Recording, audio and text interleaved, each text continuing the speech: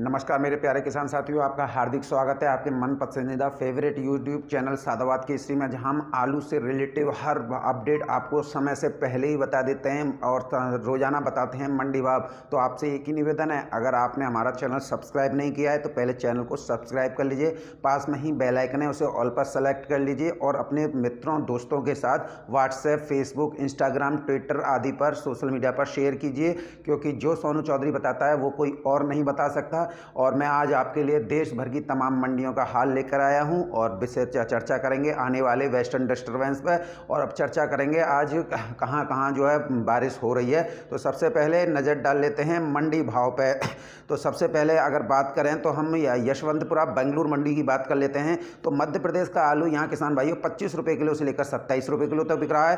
Collar का आलू तेरह रुपये किलो से लेकर उन्नीस रुपये किलो। पुखराज उत्तर प्रदेश का चौदह रुपये किलो से पंद्रह रुपये किलो तक। सैंतीस सतानवे चौदह रुपये किलो से लेकर पंद्रह रुपये किलो, ख्याति बारह रुपये किलो से लेकर तेरह रुपये किलो, तीन सौ दो, दस रुपये किलो से लेकर ग्यारह ग्यारह रुपये किलो, इंदौर का आलू तीन रुपये किलो से लेकर अट्ठारह रुपये किलो तक बिका है। कोई टिम्बर मंडी की बात कर लेते हैं तो यहाँ ऊटी का आलू नौ सौ रुपये से लेकर पंद्रह सौ दस रुपये प्रति पैकेट। यहाँ नोट कर लेना, ये पैंतालीस किलो की तौल है। दक्षिण में जितना भी आलू जाता है, वहाँ सिर्फ़ पैंतालीस किलो की तौल होती है, पचास किलो की तौल नहीं होती है। कॉलर का आलू बारह सौ रुपये से लेकर चौदह सौ पचास रुपये प्रति पैकेट। गुजरात का आलू सात सौ रुपये से लेकर नौ सौ रुपये प्रति पैकेट। इंदौर का आलू छः सौ सत्तर रुपये से लेकर नौ सौ रुपये प्रति पैकेट। आगरा का आलू साढ़े सात सौ रुपये से लेकर एक हज़ार रुपये तक आज सौदे हुए हैं। हैदराबाद के आलू की बात करें तो आठ सौ रुपये से साढ़े आठ सौ रुपये कायोडोर मंडी चेन्नई की कोयम्बेड़ मंडी चेन्नई की बात कर लेते हैं तो उत्तर प्रदेश का आलू यहाँ पंद्रह रुपये किलो से लेकर अठारह रुपये किलो तक बिक रहा है। इंदौर का आलू सोलह रुपये किलो तक बिक रहा है। बात कर लेते हैं आपके महबूब नगर मंडी की। तो लोकल का आलू साढ़े छः सौ से लेकर सात सौ रुपये बम्पर आलू यहाँ चार सौ रुपये से लेकर साढ़े पाँच सौ रुपये तक बिक रहा है। अगर बात कर लेते हैं पूना मंडी की तो पूना मंडी में इंदौर का आलू आठ रुपये किलो से लेकर चौदह रुपये किलो, आगरा का आलू बारह रुपये किलो, गुल्ला आगरा का आलू नौ रुपये किलो तक बिका है। मेटियापालम मंडी की बात कर लेते हैं तो ऊटी का आलू नौ सौ रुपये से लेकर पंद्रह सौ प्रति पैकेट, कॉलर का आलू तेरह सौ से लेकर चौदह सौ प्रति पैकेट, गुजरात का आलू सात सौ से लेकर नौ सौ प्रति पैकेट, इंदौर का आलू छः सौ से लेकर आठ सौ प्रति पैकेट और आगरा का आलू सात सौ से लेकर साढ़े आठ सौ रुपये प्रति पैकेट आज वहाँ बिका है। बात कर लेते हैं आपका समस्तीपुर बिहार की तो पंजाब का आलू यहाँ नया जो आ रहा है पाँच सौ से लेकर साढ़े पाँच सौ रुपये संबल का चार सौ अस्सी रुपये से लेकर साढ़े पाँच सौ रुपये प्रति पैकेट। बात कर लेते हैं अकोला मंडी महाराष्ट्र में है तो सैंतीस सतानवे यहाँ बिक रहा है साढ़े पाँच सौ रुपये से लेकर छः सौ रुपये प्रति पैकेट। पुखराज बिक रहा है चार सौ रुपये से लेकर पाँच सौ रुपये प्रति पैकेट। हैदराबाद मंडी की बात कर लेते हैं तो सैंतीस सतानवे, यहाँ नौ रुपये किलो से लेकर तेरह रुपये किलो तक। लोकल का वहीं का नौ रुपये किलो तक ही बिक रहा है। मदरई मंडी की बात कर लेते हैं तो सैंतीस सतानवे पर यहाँ पर करंट काफ़ी देखा जा रहा है। सोलह रुपये किलो से लेकर उन्नीस रुपये तक बिका है। बात कर लेते हैं आपके आज़ादपुर मंडी की। तो आज़ादपुर मंडी नई दिल्ली में यहाँ पर सूर्य आलू जो है काफ़ी अच्छा बिक रहा है। साढ़े चार सौ से लेकर साढ़े पाँच सौ रुपये प्रति पैकेट। संबल का चिप्सोना बिक रहा है, आपका चार सौ रुपये प्रति पैकेट। और अगर बात करें आगरा सासनी हाथरस के चिप्सोना की, वो साढ़े पाँच सौ रुपये प्रति पैकेट बिक रहा है। नॉर्मल क्वालिटी का आलू साढ़े तीन सौ से चार सौ रुपये प्रति पैकेट बिक रहा है। सैंतीस सतानवे में आज सौ रुपये से लेकर डेढ़ सौ रुपये का करंट आया जो आलू सैंतीस सतानवे डेढ़ सौ, दो सौ रुपये का बिक रहा था, आज वो चार सौ और साढ़े चार सौ रुपये प्रति पैकेट का बिक रहा है। अब बात कर लेते हैं आपके सिंदूरी आलू की तो सिंदूरी आलू और लाल आलू जो दिल्ली के आज़ादपुर मंडी में पहुँचा है, काफ़ी कम मात्रा में पहुँचा है। और ये गाड़ी आज जो है दिल्ली के आज़ादपुर मंडी में कुल मिला के साठ गाड़ी पूरी कल की बैलेंस को लगा के, कल की तीस बैलेंस थी और तीस बैलेंस से आज पुरानी गाड़ी, यानी कि साठ गाड़ियों की आवक आज नई दिल्ली आज़ादपुर मंडी में हुई है। ऐसे में यहाँ पर पुराने आलू की डिमांड बढ़ी है क्योंकि पंजाब के ज़्यादातर इलाकों में भारी बरसात होने की वजह से खुदाई पर फ़िलहाल ब्रेक लग गया चाहे वो जलंधर हो, पटियाला हो, आपका फिरोजपुर सिटी हो कोई भी नवा शहर हो या हरियाणा का अंबाला, पीपली इस जगहों पर आलू जो खुदाई चल रही थी, फ़िलहाल उस पर ब्रेक लग गया यहाँ पर खुदाई नहीं हो रही है। इसी वजह से पुराने आलू के रौनक लौट आई है। चाहे वो चिप्सोना हो, चाहे वो आपका सूर्य हो, चाहे कोई भी नस्ल का आलू हो, उस पर उछाल जो है किसी पर पचास रुपये प्रति पैकेट का किसी पर सौ रुपये का तो किसी पर डेढ़ सौ रुपये प्रति पैकेट का उछाल आया है। लेकिन आप लोगों की मर्ज़ी आगे आप क्या करना है? आप कानपुर की मंडी की बात कर लेते हैं तो कानपुर की मंडी में सिंदूरी आलू जो है साढ़े चार सौ से लेकर पाँच सौ रुपये प्रति पैकेट, नया लाल आलू साढ़े चार सौ से पाँच सौ और नया सफ़ेद साढ़े तीन सौ से पाँच सौ रुपये, हॉलैंड आलू जो है साढ़े चार सौ रुपये से लेकर साढ़े छः सौ रुपये तक का, अच्छी क्वालिटी का, नॉर्मल क्वालिटी का वही दो सौ तीन सौ रुपये प्रति पैकेट न्यू हॉलैंड का बिक रहा है। बात कर लेते हैं अब आपके अहमदाबाद मंडी की तो अहमदाबाद मंडी की बात कर लेते हैं तो बादशाह आलू इक्कीस रुपये किलो से लेकर छब्बीस रुपये किलो, बम्पर आलू सोलह रुपये किलो से लेकर बाईस रुपये किलो, पुखराज आलू सोलह रुपये किलो से लेकर उन्नीस रुपये किलो और पुखराज का ही बम्पर आलू सत्तर रुपये किलो से लेकर तेरह रुपये किलो तक बिक रहा है। जयपुर की मंडी की बात कर लेते हैं तो जयपुर की मंडी में हल्का बहुत ही, लूज आलू छः रुपये किलो से लेकर आठ रुपये किलो, इससे भी ज़्यादा लूज तीन रुपये किलो से लेकर चार रुपये किलो एक्स्ट्रा सुपर आलू आठ रुपये किलो से लेकर नौ रुपये किलो और एक्स्ट्रा सुपर वीवीआईपी आलू सैंतीस सतानवे का नौ रुपये किलो से लेकर बारह रुपये किलो तक। आज यहाँ जयपुर की गाड़ी, गाड़ियों की आवक हुई है कुल बारह। आज जयपुर की मंडी में बारह गाड़ियों की आवक है। आप, इसे आप समझ सकते हैं।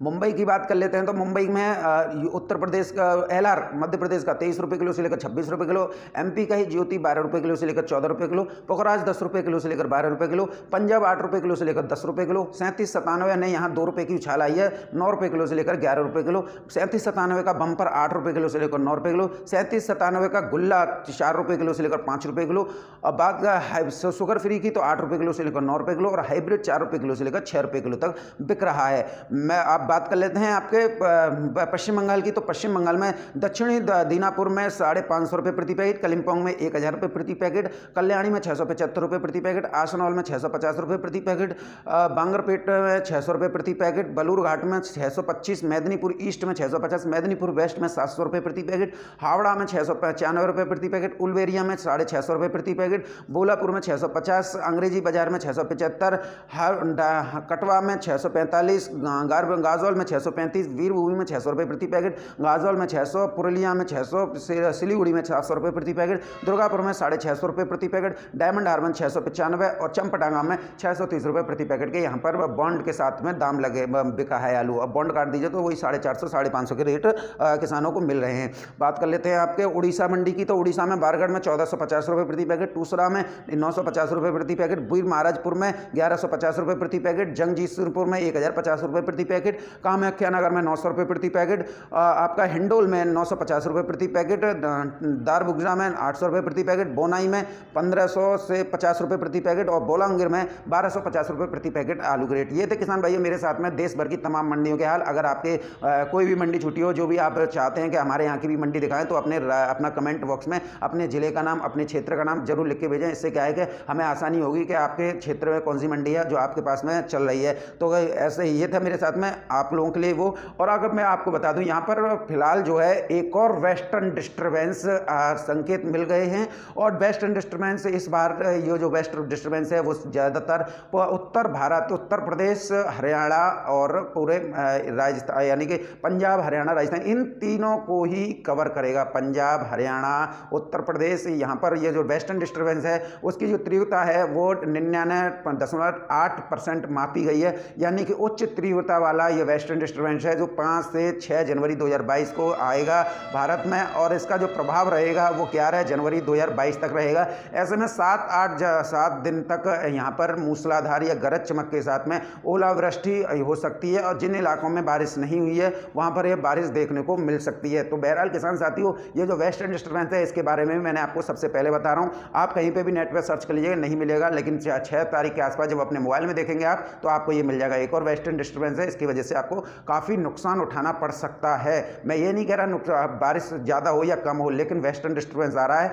और वो नाइनटी परसेंट की तीव्रता वाला है। आप खुद देख लीजिए, उससे आपके ओलावृष्टि यानी कि जो nine, ninety nine point eight होता है, वो अति ओला अतिवृष्टि यानी कि ओलावृष्टि वाला होता है, गरज चमक के साथ, वो बरसात वाला नहीं होता है। उसका प्रभाव यह है कि कहीं कहीं बरसात जो जहाँ पर मॉडरेट लेवल की बरसात है, वो वहाँ पर तेज़ बरसात हो जाएगी। तो इससे आप लोगों को सचेत रहना है और मेरा निवेदन यही है कि आप इससे पहले पहले अपनी फ़सलों में पहला दूसरा स्प्रे जो कर रहे हैं आप, पहला तो हो चुका है, दूसरा स्प्रे कर रहे हैं, उसका भी मैंने लिंक डिस्क्रिप्शन में डाल दिया है, कैसे आप अपनी फ़सल को बचाए रखने के लिए कौन कौन सी दवाएँ समय समय पर प्रयोग कर सकते क्योंकि विभिन्न कंपनियाँ जो है, गाँव में घूम घूम कर आप लोगों को बेवकूफ़ बना रही हैं लोकल कंपनियाँ हैं। जैसा कि अन्य चैनल वाले बता रहे हैं, बिल्कुल सही बात है, मैंने भी गाँव में तीन चार कंपनियों को कल पकड़ा था और उनसे सीधा उन्हें कृषि विभाग के सुपुर्द किया था। वो फर्जी लोकल कंपनी की दवाइयाँ हैं, जिनसे आपकी फ़सलों को काफ़ी नुकसान हो सकता है। तो ऐसे जो बहरूपीय जो गाँव गाँव डोल हैं, आपको